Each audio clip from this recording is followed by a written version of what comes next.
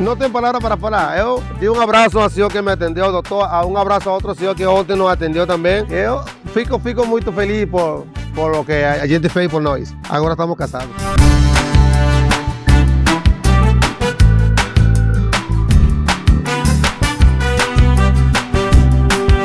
Minha filha que viu no celular dela, né? E falou: mãe, vai ter uma carreta itinerante, agora é bom pra senhora ir. Disse, então a gente vai. E aí ele ficou o tempo todo falando: vamos, amor, vamos, amor. Olha, a gente tá junto há 34 anos e a gente queria regularizar, ter um papel. Chegamos a colocar o nome no, no cartório e tudo, e não casamos. Hoje nós vamos desencalhar.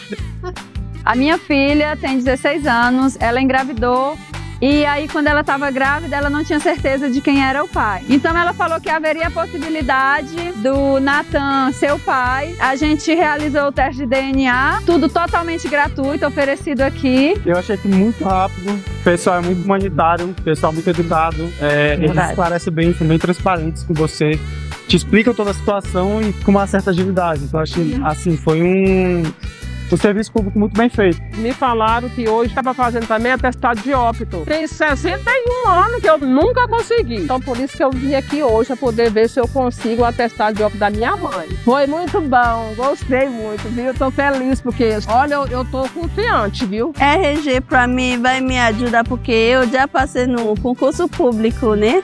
Como técnica de FMAD e eu vou trabalhar como técnica de enfermagem com RG, eu tenho todos os meus direitos. Primeiro veio para fazer o negócio de união estável.